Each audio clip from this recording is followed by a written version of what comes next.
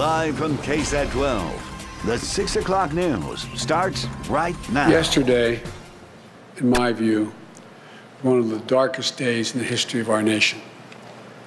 An unprecedented assault on our democracy. An assault literally on the citadel of liberty in the United States Capitol itself. President elect Joe Biden reflecting on yesterday's events when a violent mob of pro Trump supporters seized the United States Capitol as members of Congress sought to ratify the Electoral College vote cementing Biden's victory. Some wearing body armor, pushing past barricades, making it all the way to the Senate floor and even House Speaker Nancy Pelosi's office leaving behind a wake of destruction. Four people as a result of yesterday's mayhem died, and now critics in both political parties are accusing President Trump of inciting the rioters, some even calling for Trump to be removed from office. But was yesterday's chaos a one off incident, the culmination of mounting tension, perhaps stoked by the president, or is this the new normal? And how does having pro Trump supporters storm the Capitol affect the future of the GOP? Garrett Brnger talked with local Republicans about what comes next. Republican consultant Tom Marks doesn't hold back in his condemnation of the mob that stormed the Capitol Wednesday. It's reprehensible. I mean, it's uh, it's domestic terrorism. Any Republican, myself included, is going to be, um, you know, it is embarrassment when you know you can get labeled with that type of uh, um, or part of a, a, group that engages in that in that sort of activity. But he points to the reaction of people like Congressman Chip Roy or Congressman Dan Crenshaw, rather than the rioters, as to how the Republican Party will change going forward. For for some of those folks to break ranks right away and say, you know, we are not going to stand, you know, we're not going to stand for this. Um, I think that was the very beginning of, of how it's going to change. Marks thinks there will be a more hyper local focus, pointing to how many people have wanted to be involved. All politics became local dur- during the pandemic. The local angle is certainly what Bexar County Republican Party Chairman John Austin plans to focus on. We think that the mayor overstepped his uh, power to do the lockdown so hard and then pulling the fast one on that um, um, curfew over Thanksgiving. And pointing to the more than 300,000 Bexar County voters who cast ballots for President Trump in November, he doesn't expect their support to waver from Trump. I think people can see really the full, you know, the past four years of, of President Trump has been really good for the country in general. Only the next election will tell. Garrett Brnger, KSAT 12 News. The Washington Post reporting the top federal prosecutor in the nation's capital isn't ruling out investigating President Trump's role in what the country witnessed yesterday. Acting U.S. Attorney Michael Sherwin is quoted as saying his office will be looking at possible criminal charges against, quote, all actors, end quote, whether they were there or not. Jessie Degollado reports that may be welcome news to supporters of Black Lives Matter, who believe it was a classic example of white privilege in action. As if seeing mobs descend on the U.S. Capitol, walk freely through its hallowed halls, and seemingly take over its seats of power wasn't all horrifying enough. The police literally let these people in to riot and loot at our nation's capital. A founder of Radical Registrars, Valerie Reifert says she even saw a video on Twitter that has now gone viral. The police officers taking selfies with these treasonous rioters. Last summer, National Guard stood armed and ready to protect the Lincoln Memorial during peaceful Black Lives Matter protests. Yet only Capitol Police stood between enraged Trump protesters and what's considered the cradle of democracy. It was really disappointing to see um, the double standard play out, you know, with the way that things happened um, at a national monument. As Black Lives Matter protests spread around the country, the president had threatened to send in the National Guard. Yet numerous reports say he reportedly was reluctant to deploy them here. The Guard was actually sent in by Vice President Pence and not by President Trump. Quite frankly, we have a president that has invited domestic terrorism into our country. Among the reasons, he says, why the NAACP wants to see the president impeached. What they say became all too glaringly obvious had these been people of color. What we would have saw was a bloody Wednesday. We still live in a society in which we are treated unequally based on the color of our skins. What happened at the Capitol yesterday made us only more aware of the validity in the work that we do. Jessie Degollado, KSAT 12 News. A Bexar County Sheriff's lieutenant who posted photos of herself at Wednesday's deadly riot at the U.S. Capitol could soon be out of a job. Roxanne Mathai, an eight year veteran of the agency, wrote on Facebook that yesterday was one of the best days of her life. Alongside photos she posted of rioters scaling scaffolding outside the Capitol. Mathai wrote that she did not go past the steps of the building because she did not want to be arrested. Bexar County Sheriff Javier Salazar called the posts and photos, quote, infuriating and said his administration has been in contact with Washington, D.C. law enforcement and the FBI. More than 50 police officers were injured and four people died during that riot, including a woman shot by police after she tried to climb through a smashed window. Salazar said his intention is to terminate Mathai. At this point, I don't care what people say. Uh, I'm going to handle my discipline in this agency uh, as I see fit. Mathai has not set foot inside the jail since October when she was placed on administrative leave after allegations surfaced that she had an inappropriate relationship with an inmate. Into at six, while jury selection on hold in the capital murder trial of Otis McKane, who's facing execution in the murder of a San Antonio Police Department detective, the number of executions in the state of Texas actually trending downward. Death penalty opponents say the numbers last year the lowest since 1996. Paul Venema with what they're saying about those numbers and the impact they say COVID 19 has had on death penalty executions. Three people were executed here in the Texas death chamber in 2020, and juries imposed the death penalty in only two cases. In 2015, Mark Gonzalez, who was sentenced to death for the 2011 ambush slaying of Sheriff's Deputy Kenneth Van, was one of only two death penalty sentences imposed in Bexar County since 2009. I think Bexar County is really emblematic of this shift, both in terms of the jury rejections of the death penalty and prosecutors and a prosecutor who's been who's moving the county away from it. Though Bexar County District Attorney Joe Gonzalez is seeking the death penalty for Otis McKane, who is accused in the execution style slaying of veteran SAPD Detective Ben Marconi in 2016, Gonzalez said that execution is only for the worst of the worst. District Attorney Joe Gonzalez, you know, is part of um, the wave of what we consider reform oriented prosecutors who have pledged to be more limited in their use of the death penalty. As for the low execution numbers last year, do you think that uh, COVID actually played a role in this, or is there a growing attitude against the death penalty? I believe that both of those things are true. Uh, use of the death penalty in Texas has declined significantly over the last two decades. When the Texas legislature convenes next week, they'll have two death penalty abolition cases that have been filed for them to consider. Paul Venema, KSAT 12 News. Turning now to other top stories, San Antonio police believe a man who was found dead just north of downtown overnight may have been hit by a train. Officers found the 62 year old man in the 1300 block of West Martin Street.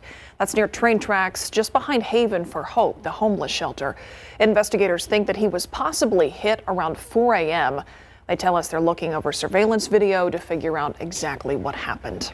The San Antonio police also investigating the shooting death of 25 year old Gilbert Rocha. According to Crime Stoppers, he was shot and killed back in November of 2016 at the corner of Hebner and Military. Police say Rocha sitting in the back seat of an SUV when another car pulled up and a passenger in that car opened fire. If you have any information which could help solve this case, you're asked to call Crime Stoppers at 224 STOP. And also tonight, we have learned the name of a man police say was shot and killed on the city's east side Monday night. That man, 51 year old Dietrich Van Harrington Jr., was found with several gunshot wounds to the chest near the intersection of Ferris Avenue and Beulah Street. He was rushed to the hospital where he later died. So far, it is unclear what led up to this shooting. No arrests have been made, nor have police issued any suspect description. Time saver traffic right now. Let's go to I 10 and Callaghan. Good news out here. Traffic moving along very smoothly. I believe that's some road construction that you're seeing kind of off to the side there with the flashing lights. This is the eastbound lanes of I 10 at Callaghan. Take a look outside with live cam this evening. Pretty picture, a little cooler out there as well. We got some big changes, cooler temperatures. How about that mountain cedar? What's the status on that? Oh, yeah, Myra, glad you mentioned it. We have the cedar breeze in effect today. You noticed it. That- It was a gusty northwesterly wind today. It was mild temperature wise, mid 60s, but the northwesterly wind typically doesn't do us any favors with the mountain cedar count, and today was no exception to that. Very high with a count of 19,000, so very similar to yesterday. Mold, however, on the low end. Our wind really has pumped the brakes quite a bit. However, it is still northerly, and that northerly component I do think will keep our mountain cedar count elevated. So it's north at five miles per hour right now in San Antonio. Elsewhere, generally our winds are between about two and six miles per hour, some locations calm, but it's going to be a northerly breeze, even if it's light, for the next several days. So that probably will keep that mountain cedar count elevated. 58 now in Bandera, Tarpley as well. 63 Castroville, Rio Medina at 60. Get up to Canyon Lake and New Braunfels, it's 58, along with Stinson on the south side of San Antonio. For the most part, we're in the 60s right now, but good radiational cooling this evening because of the clear sky, calmer wind, and very dry air that's in place. Dew points down in the 20s. So air temperatures will be falling down, I think, into the 40s by 9 10 p.m. And then by tomorrow morning, we'll start the day around freezing in the hill country, but mid 30s San Antonio. We'll be back to talk about our good chance of rain coming right up.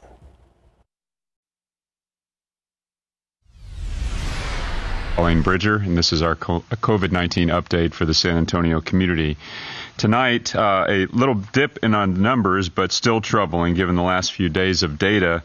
There were 1,170 new more, excuse me, 1,170 more cases of COVID-19 in our community since yesterday. Our seven-day rolling average is now 1,534.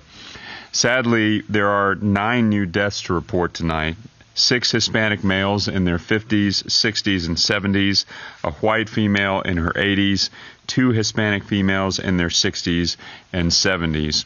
Our hearts are with their friends and families tonight. Uh, we've lost uh, loved ones who are very close to us, and I'm sure uh, many of you have as well. So please keep uh, friends and family and neighbors in your prayers this evening. Our hospital numbers also continue to climb. There are now 1,376 COVID 19 patients in our local hospitals. There were also 207 new admissions, a record high for new COVID admissions in a 24 hour period in our area.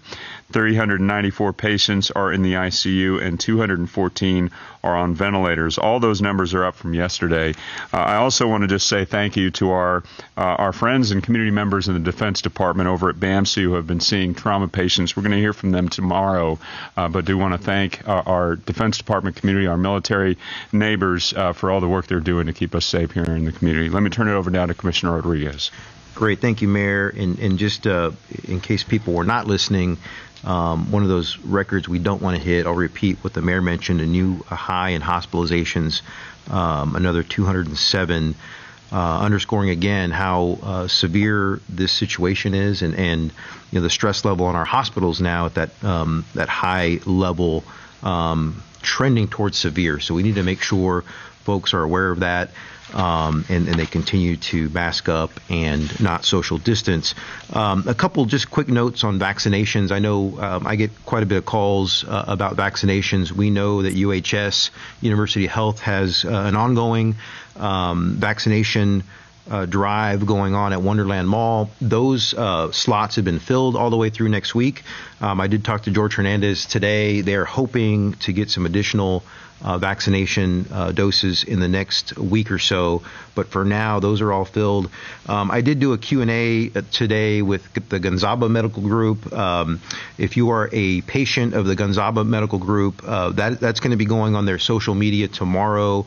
They will be reaching out to their patients um, of Gonzaba Medical Group about the availability of vaccinations through them. And I know we're all um, awaiting more direction from the state. You know, those are coming down through the state. We're hopeful that uh, there's some additional opportunities for the COVID vaccine. But for now, just be patient, continue to mask up, and, and be safe out there. Thank. Great. Thank you, Commissioner. And, and thank you to everyone out there who has been paying attention to the health guidance and continuing to wear a mask and practice physical distancing. That is definitely making a difference. Despite these numbers, uh, which are incredible and, and very discouraging, uh, we are encouraged by the fact there are so many neighbors that are, are doing their part to protect lives, their own, their family members, and our community. So thank you for that. Also want to remind you that there is still a blood shortage in our community. And if you are able to, uh, the blood bank needs your donation. You can schedule an appointment by visiting southtexasblood.org. There is particularly a short. So after a couple of days with new cases over 2,000 on a daily basis, it's down, but still high, 1,170. The rolling average of seven days, seven day, 24 hour average, 1,534. Nine new deaths have been confirmed today. That's to 1,587 total in Bexar County. And we did hit a record today in terms of hospitalizations. The number of people hospitalized right now with COVID 19, that number stands at 1,376. COVID 19 patients, 207 people uh, admitted to the hospital with that illness over the last 24 hours. That is also a 24 hour uh, admission record. Uh, we're going to talk to Dr. Ruth Berggren coming up a little bit later in this show about what's going on in the hospitals and the capacity that we're dealing with here locally. Uh, but that is certainly a really big threat when it comes to the stress that our hospitals and our healthcare system is currently under. Yeah, also going to talk to the doctor about the vaccines and some of the myths that are out there when it comes to the vaccine. By the way, it's a vaccine that's very much in demand. The University Health System says that their appointment slots are filled through next week for people that want to get the vaccine, and they are waiting more shipments. They hope next week that'll come. And of course, that comes from the federal government through the state of Texas. Let's take a look now at the weather situation outside. A little bit cooler. It was a beautiful day. Just might not feel so great if you're out there with the cedar. Yeah. Yeah. Yeah. It's, I felt it. Yeah. Yeah, well, y- yeah, and I mean, I know a lot of folks, uh, even family members, who will be outside alone and will mask up because they're just used to having masks and just one little layer of protection against the cedar. I mean, it's not an N95, it's not perfect, but it's, I guess, better than nothing. Yeah, it's something. So that's uh, one tip for you. Just keep the mask on. Let's talk about our weather pattern, though. We have the exiting storm system that brought us a little bit of rain yesterday morning. It's nicely wound up now, crossing the Mississippi with some good moisture. Eh, For us, it was too little too late. It strengthened right when it moved past us. Well, we're looking at this ripple in the upper level flow that's just west of the Pacific Northwest. So it's still way offshore, has a lot of real estate to cover before it makes it here to South Texas. But what we're anticipating from this is a cold, rainy Sunday. The next couple of days, Friday, Saturday, we'll have some sunshine into Sunday. That's when we're expecting the rain to move into town. Most of it being along and especially east of I 35. But one of the keys here is that by Sunday afternoon or evening, we could have a wintry mix in the hill country. Right now, it's look, it looks like the potential for rain to light rain snow mix to maybe a little bit of just wet snow on the backside, but very different setup than what we had about a week ago when the snow was piling up in parts of the hill country. So right now it looks like it would be very minimal impact if there is even a wintry mix there in the hill country. Rainfall wise, about a half inch to an inch in and around San Antonio, higher accumulations closer to the coastline. Tomorrow, sunny, 35 in the morning, 60 in the afternoon, down in the 50s on Saturday, and 40s with that rain on Sunday. All right. Thanks, Adam. All right, why does it seem every other game, Larry, the Spurs are playing the Lakers? I know, right? Two- they're- they played them back to back. back to back, and now tonight again to close out the regular season series against the Lakers. So they, yeah, they get the champs out of the way early on in the season. You know, Jakob Poeltl started when Lamarcus was uh, out with a knee injury. Well, now he's back to the bench, and that's okay with Patty Mills. Plus, Kellen Mond, he's leaving Aggie Land for the NFL. Coming up.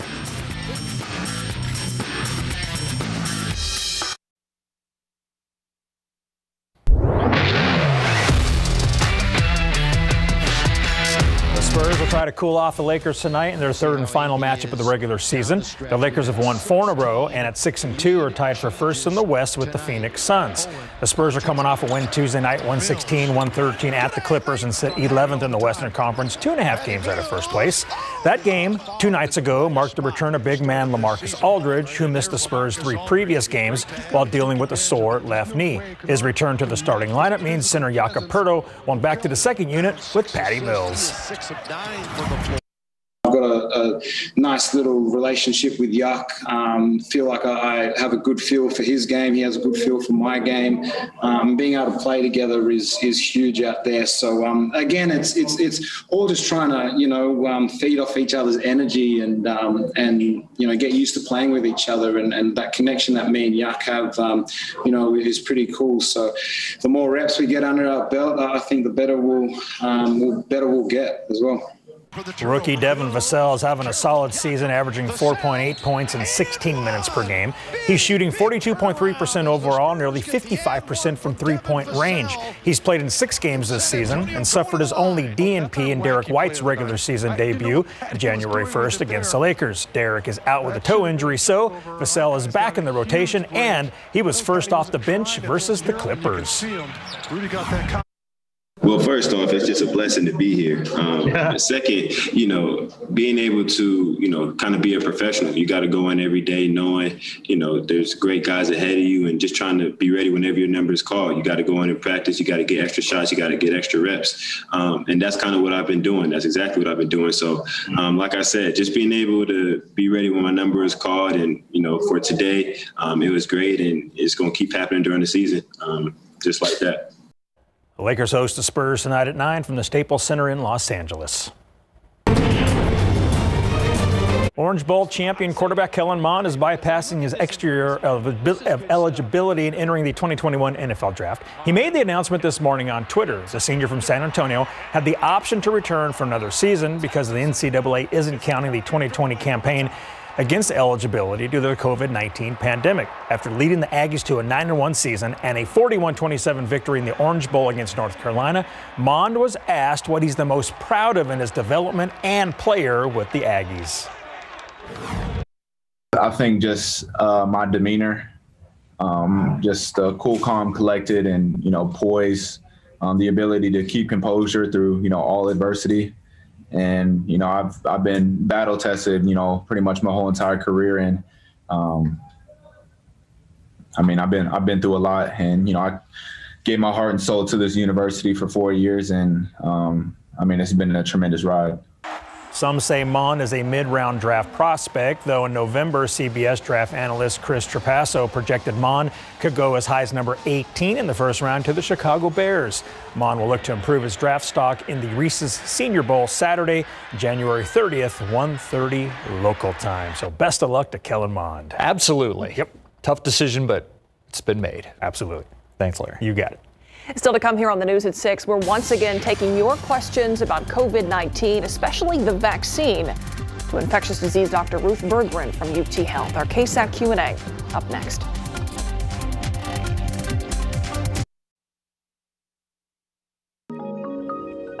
You know, we have a lot of viewer questions about the COVID 19 vaccine, the myths that are out there. So let's try and separate some of the fact from the fiction like we like to do with our next guest, Dr. Ruth Berggren with the Long School of Medicine from UT Health San Antonio, an infectious disease doctor. Doctor, always great to see you. I, first, I want to start off with the fact I, I saw on your Twitter feed the other day that you had received the second dose of the vaccine. How did it go? Any surprises?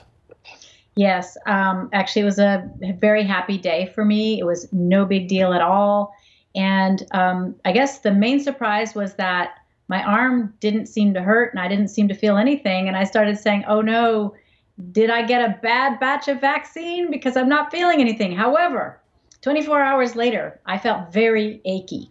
And um, the achiness was actually a relief to me because I realized that's the vaccine doing its job. My immune system is waking up. And all I had to do was take one Tylenol one time and I drank some tea, went to bed early, and next day I was fine. I worked today, and um, I'm feeling perfect. We're glad you're vaccinated. Glad to hear you're feeling well after that. We've gotten a lot of viewer questions about the vaccine, as Steve mentioned. Uh, this first one kind of plays into to that uh, vaccination process. This person asked, I received my vaccine on Wednesday. After my second vaccine, how soon will I be able to get together with my family without worrying about getting the virus? Okay, so to get to the 95% chance of protection, it needs to be one week after your second dose of vaccine. And remember that it's not a 100%, it's 95%. So you will be pr- in pretty good shape um, after that, after a week after your second dose. Next question has to do, and we've been getting this one a lot too. What are the details regarding the vaccine for women who are pregnant? Should they get the vaccine? Is this something that should be recommended by their doctor? Pregnant women can get the vaccine, and so can women who are breastfeeding their babies. We do recommend that every woman discuss this with their doctor. It is best to have an individualized conversation with your doctor about it, but there should be no barrier for a pregnant woman or a woman who's breastfeeding to get the vaccine. Is there any stage during pregnancy where it's recommended more than not, or can you get it at any point during your pregnancy? That is a discussion to have with the doctor. Okay. Um, if there's any cons- any hesitation, it, uh, a person who's hesitant may want to wait until after the first trimester, but this is an individualized decision to be made with the doctor's advice. Next question Can I receive the vaccine in any Texas county or only in the county in which I reside? Any county. Yeah. If you can get it, get it. Right. Yeah. All right. So uh, this is a question for somebody who is in that 1B category. This person said, My husband and I are both in 1B, over 65. My concern is the long lines. We've seen those here locally. Uh, this person said they both have difficulty standing for extended periods. What's being offered to those that fit into that category? Right. So um, I suppose it's dependent on the site. I would like to tell you that the sites that we are seeing at UT Health and what I just heard from a 1B patient of mine who just came back from the university hospital immunization that was going on at Wonderland Mall, that they were not waiting in line and there was not a long line. Now, one, if you think there's going to be a line where you're going, you could bring a, direct, a collapsible chair and be kind of prepared for it. But ideally, these lines are supposed to be moving very quickly. The processes are, are pretty efficient. Other options that you have include getting it in your doctor's office. So, some clinical providers are actually providing them when people come to a doctor visit. That's not widespread yet, but we have been encouraging everybody who's a clinical provider to apply to become a vaccine administration site. So, if you want to get it through that mechanism, you may just have to wait until your doctor's site um, becomes an actual vaccine provider. And here's a final option for, for everyone to consider, and that is that just today, UT Health launched a clinical vaccine trial, and this is the Novavax trial, where uh, it's a different platform than the mRNA vaccine. You wouldn't know whether you're getting vaccine or placebo, but there's a two to one chance in this trial because of the way that it's designed. There's a two to one chance that you would get vaccine rather than placebo. So that's that's an option that we're not necessarily saying we want it to go to 1B patients, but that's an option for everybody. I know there are a lot of concerns coming into this that people just wouldn't want to get vaccinated for various reasons, that trust is something that has to be built. Are you also concerned that there's going to be a frustration for people who just can't get it yet and they may just give up? Of course, but I think I, I would come back and say uh, the alternative uh, is not very pretty. And I've just been rounding in the hospital today. Unfortunately, over a several hour period, I heard several code calls for respiratory arrests that were coming from the COVID floors. People die from this disease. And so I, I think that vaccine hesitant people um, really need to take a look at the bigger picture and I think it's far more scary to think about getting COVID and having the consequences um, than it is to to get a vaccine. Absolutely. We hate to hear about that situation that you described, but I'm glad you did because that's something I hoped we would talk about what you are seeing in the hospital right now, what patients who are hospitalized at incredibly high numbers are going through in our community. Dr. Ruth Berggren, as always, thanks so much for your time. We'll be right back.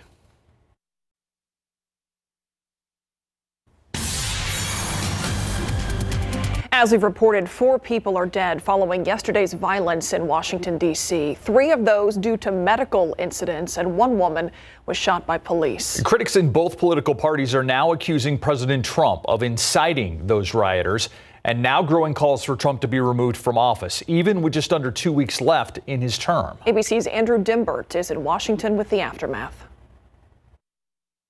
After a night of lawlessness in the nation's capital, the White House finally responds, but taking no questions or acknowledging any responsibility. We condemn it, the president and this administration, in the strongest possible terms. On Wednesday, what was supposed to be a purely ceremonial process, a joint session of Congress was marred by a violent pro Trump mob who stormed the Capitol. Following President Trump's speech repeating his false claims of voter fraud, the violent extremists followed his instructions. We're going to walk down to the Capitol.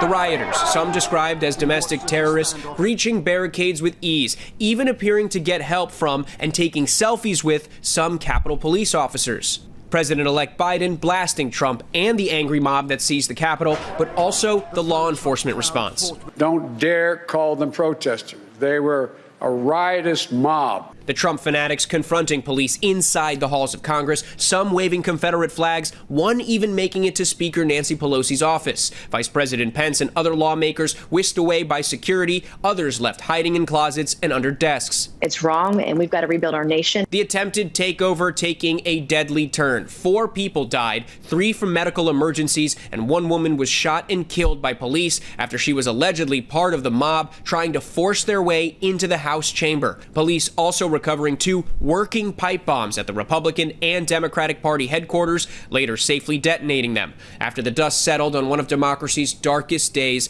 a bipartisan group of congressional leaders blaming one person for inciting the chaos Donald Trump. The president caused this. The president is unfit, and the president is unwell and now growing calls from leaders from both parties to Good invoke afternoon. the 25th Amendment to remove Trump from office just 13 days before his term expires. A very dangerous person who should not continue in office. And now, sources tell ABC News President Trump has suggested to advisors that he wants to grant himself a pardon before he leaves office. Now, although there is some ambiguity to the law, most legal experts and constitutional lawyers say a president cannot pardon himself. Andrew Dymburt, ABC News, Washington. Take a look outside with live cam right now. 58 degrees out there. We got some changes headed this way. Hopefully, if you like winter, it's something you're waiting for. Did you know it's Thursday, right? Yes, it is. All right. What, Steve? that too. Thermometer Thursday. I'm sorry That's I didn't mention it. Found another ornament I can give away. ah, there you go. I bet a lot of trees are still up. Well, no, that's you'll enjoy it for Christmases to come. That's the key. Okay. there you well, go. fine. See, it's like a My tree is still up, Kathy. there you mine. go. Right? See, Okay. it's a surprise uh, Christmas gift. You know, a late one, a surprise one. 58 degrees right now, and we'll be in the 40s by about 9 10 p.m. And then tomorrow morning, starting the day in the 30s. So a chill in the air, but a good rain right around the corner. We're going to talk about that coming up. So we have some breaking news just moments ago. President Donald Trump releasing a video calling for unity in the country and also apparently conceding to President elect Joe Biden. This is something official that we have not heard from him since the election. Uh, there is that video that Steve mentioned. We're going to try to see if it's available uh, to, to share with you, but we're working on that as we speak. But again, uh, the president conceding in an official video and calling uh, for that calm after yesterday's chaos. All right, let's flip over to Adam Caskey right now and talk about Thermometer Thursday. And you know, what did you find that in your in your you know cushion of your couch or something? that extra thermometer. I mean, how does it just like turn up? Well, actually, we took down the tree that we had here in the Weather Center, and that was a spare, I realized. That was one I had all right. accounted for to give away, and then it just sat there, and I made a ton more. And so, surprise! here we are. And I'm going to show you a very uh, inventive way to use koozies, can koozies, very hmm. special can koozies with Thermometer Thursday. But we've got some weather to talk about here. Not as windy. The wind has really pumped the brakes, so it's not as gusty out there right now. Much needed rain right around the corner. We're expecting it on Sunday. Saturday's the outside day, Sunday's going to be an inside day, and we could actually have a little bit of a wintry mix in parts of the hill country on the backside of that system. So let's talk about it right now. Clear over Texas. Cool out there. Temperatures falling into the 30s later tonight. We'll have a hill country freeze. There is some snow in the midsection of the country. That's with the exiting system that gave us a little shot of rain early yesterday morning. But we're looking at this ripple in the upper level flow that's west of the Pacific Northwest. So it's still over the Pacific Ocean. It has a long ways to go before it makes it here to San Antonio, and it's going to modify itself quite a bit, that upper disturbance, as it moves our way. So there's, of course, some uncertainty in the forecast, particularly in terms of the details and specifics, such as rainfall accumulations and even that potential transition to snow in the hill country. So let's talk about it right now. Next couple of days, sunshine.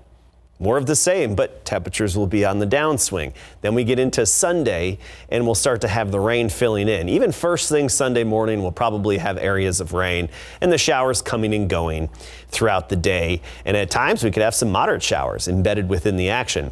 The trick is by Sunday afternoon, or evening, we could have that transition to a rain snow mix in parts of the hill country. Not necessarily all the hill country. If you're in the hill country, it doesn't mean you're going to get some of that snowfall. Uh, we're thinking right now mainly the northern portions of the hill country, and I think this computer model does a good job handling it in particular. That's the way it stands right now, and it's a very different setup than what we had about a week ago, that last event. So we're not anticipating really accumulations with this, just a minimal impact situation and more like white rain falling from the sky. That would be the impact of it. But that, of course, can change, so we'll keep you updated for the folks in the hill country around San Antonio. Looking like snow, I mean, looking like rain. Oh. That was close. You know what I want it to be. You know what I want it to be, but it's not. No. Sorry, kids. Looking like rain. Rain in San Antonio. Cold rain. As for accumulations, right now, best estimate is around a half inch to an inch for Bexar County, and then higher accumulations closer to the coastline. And the reason for that is that it's going to brew up a separate system, and we'll see a little intensification there along the Gulf Coast. We need the rain. I like to see the potential because the newest drought monitor is in, and yeah, it's a little bit of an improvement across the state, but not so much here in South Texas. We still have the extreme drought, northern Bexar County, Bandera, and then basically Uvalde, Sabinal, La Pryor areas, Carrizo Springs. So we need more drought relief, and this will be a drought denting type of system we're expecting Sunday. 58 right now, that temp's falling fast. Dry air, dew point at 24. So dry air in place. Still 64 degrees in Del Rio, but that's going to change quickly. Down to 44 now in Fredericksburg. And as I mentioned before, uh, the hill country freeze likely tonight in San Antonio. Probably just a few degrees above freezing tomorrow morning at 35, but a sunny day and right near 60 for the high temperature and not as gusty out there. So it may actually feel a little more pleasant than what we had today. Some fog Saturday morning, and I want to point out if you're in the hill country Saturday morning, you could have some freezing fog, which can disrupt travel. So something to keep in mind in the hill country Saturday morning. Then Sunday, a cold rain in the 40s. Look at that. Ooh, I love that music. What you don't see when, when we when you that music is playing is me back here kicking to it. You know, it's good. Ooh, it's good. I love to hear that. All right, so I do have a, a winner, and then I have my inventive way to. Uh, use koozies, which may be appropriate for some folks in the hill country on Sunday and would have worked last week as well. All right, thermometer ornament winner. Dun, dun, dun. Harry Lovejoy of San Antonio, the Harry Lovejoy. who I just uh, sent an email to. So I know, sorry, Christmas is over this year, but surprise, a late Christmas gift for you, and you can enjoy it for Christmases to come.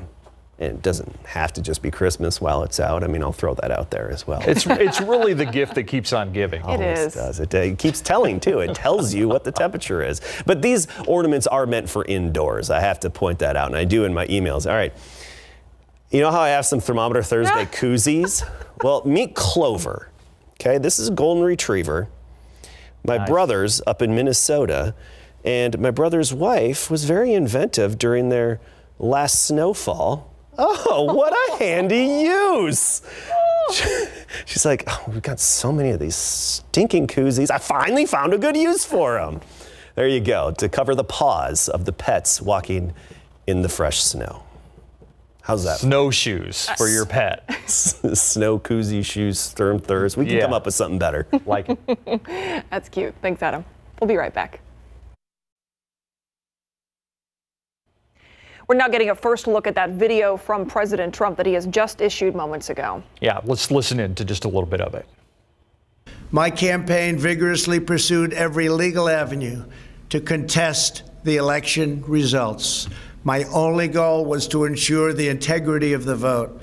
In so doing, I was fighting to defend American democracy. I continue to strongly believe that we must reform our election laws to verify the identity and eligibility of all voters and to ensure faith and confidence in all future elections. Now Congress has certified the results. A new administration will be inaugurated on January 20th.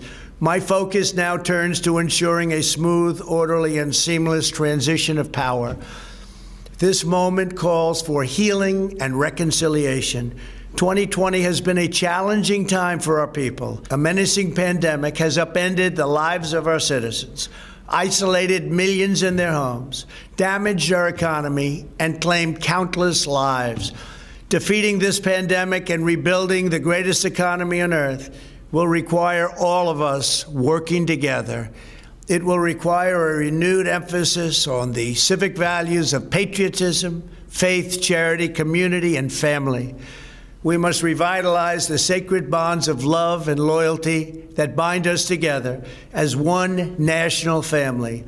To the citizens of our country, serving as your president has been the honor of my lifetime. And to all of my wonderful supporters, I know you are disappointed, but I also want you to know that our incredible journey is only just beginning. Thank you, God bless you, and God bless America. That the president. We'll be right back. Thanks for watching the news at 6. See you on the night beat at 10.